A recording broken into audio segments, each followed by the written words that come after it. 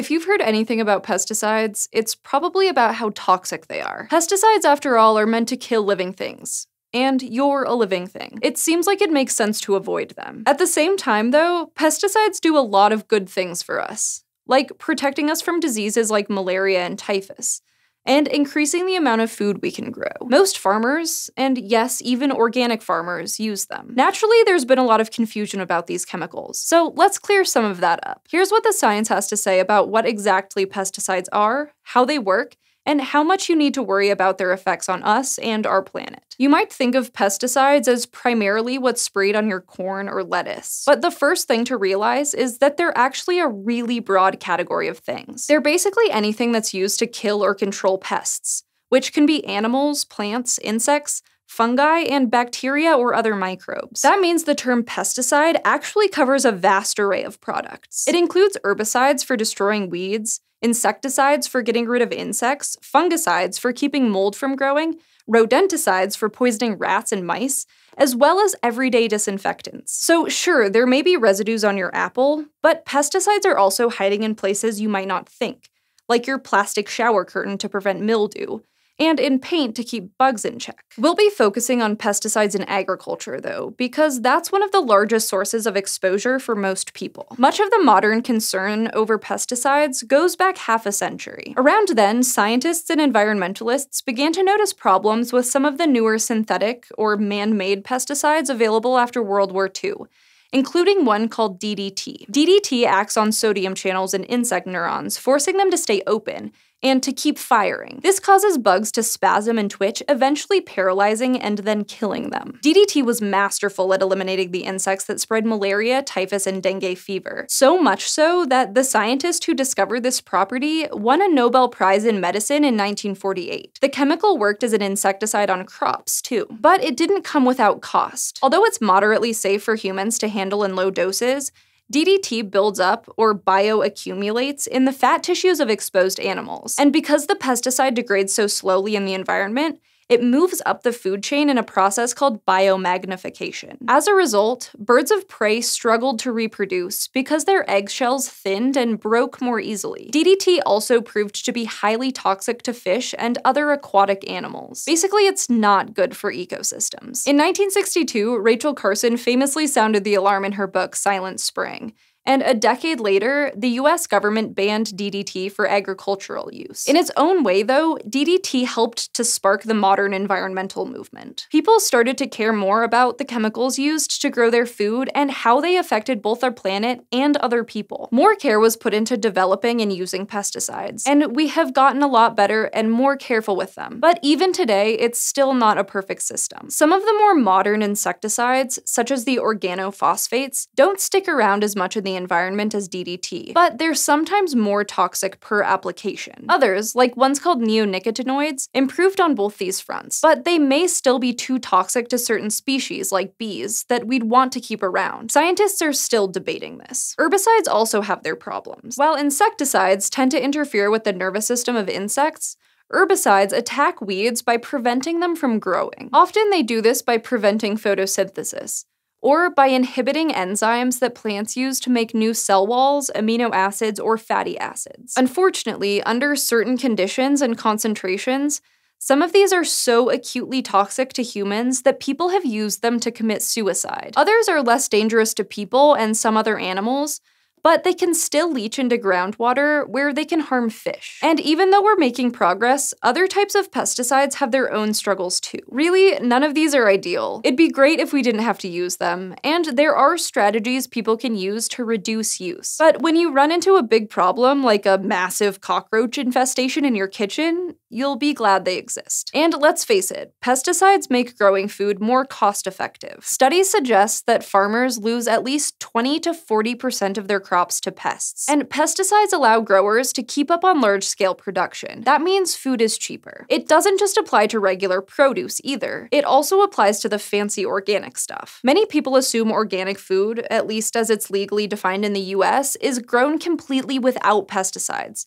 But that's not true. Organic farmers are supposed to do everything they can to avoid using pesticides in the first place, like rotating which crops they grow. Because many pests only attack certain crops, swapping out different plants in your field can prevent any one of them from gaining a foothold. But if those methods fail, and often they do, Organic farmers are allowed to spray pesticides. They just can't be man made, although there are a few exceptions. Perhaps because of this, and because people generally trust natural things over the ones humans cook up, Many consumers have assumed that synthetic pesticides must be worse than natural ones. But that's only sometimes true. Some synthetic pesticides are definitely worse, but just because something is natural doesn't mean it's better. Arsenic, of course, is completely natural, but that doesn't mean you'd want to use it. In fact, before DDT came on the scene, most American farmers used arsenic based pesticides. Now, thankfully, no one is using them to grow food. Another example is rotenone, a tropical plant extract that's great for killing bugs since it gums up their mitochondria. It's also 100% natural, but it wreaks havoc on fish and has been linked to increased rates of Parkinson's disease among farm workers. Because of other regulations, American farmers can't use rotenone anymore. But at least right now, it could still be on some imported organic produce. Dosage, as toxicologists are constantly reminding us, is also really important. Some scientists have pointed out it's not always clear cut which might be better a one time spray of a high powered synthetic pesticide or repeated larger doses of a natural one. The research is still ongoing, but at least one study in soybeans found that because natural pesticides were less effective, using them ended up actually harming more unintended targets. So the rules then are really rather arbitrary when it comes to synthetic versus natural pesticides. Mostly don't assume that just because something is organic and it's been grown with natural pesticides that you're better off it's not as clear cut as you'd hope. Obviously, all of this isn't great for consumers, which includes all of us because we all need to eat. But even though we're still working out the kinks with modern pesticides, you don't need to go and toss out all of your produce or anything. The US government carefully monitors the food supply for excess pesticide residues, so even if some make it into your groceries, you're going to be fine. The Environmental Protection Agency, or EPA, sets limits or tolerances based on the available scientific data for the highest level of residue that's still safe. They also build in a margin of error that's at least 10 times, but often 100 times higher than what any study has suggested might be harmful. And the vast majority, 99.5% of our food supply meets that high standard. So when you hear about certain foods being full of pesticides, there may be residues there, but they're still well below any known harmful level. Like, for one pesticide, you'd have to eat more than 700 times the typical daily apple consumption to reach the EPA's already cautious tolerance level. Of course, the monitoring program isn't perfect. It doesn't test all food for all pesticides, and it also doesn't test for most organic ones. That means comparing an organic apple to a conventional one isn't really fair. It's kind of like comparing apples to oranges, so to speak. Ultimately, this means you don't actually know the total level of pesticides on each piece of your fruit. To avoid as many pesticides as you can, there are a few things you can do though. Like, you can scrap that outer layer of lettuce, or wash your fruits and vegetables before chowing down. Experts recommend using water, not soap and rinsing your produce under a faucet. The stream of water removes more pesticides than simply dunking, and rubbing or scrubbing things like potatoes can get you a deeper clean. There's no evidence, though, that specialty produce washes do anything that water can't do. Washing won't remove every last molecule of pesticide, but does help for most foods. You can also feel generally better about the pesticide situation these days. Even if things aren't perfect, farmers and scientists are much more aware of the dangers of them and they've gotten better about using them more carefully. So, as much as people bemoan the good old days of agriculture,